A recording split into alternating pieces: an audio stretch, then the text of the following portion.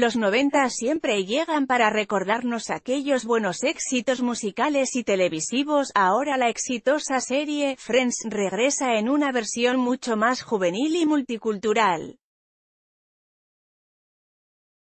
Recordemos que la serie narraba las vidas de seis amigos, cada cual más extraño que el anterior. Sin duda, resultó ser una etapa muy divertida para todos los que fuimos testigos de su crecimiento.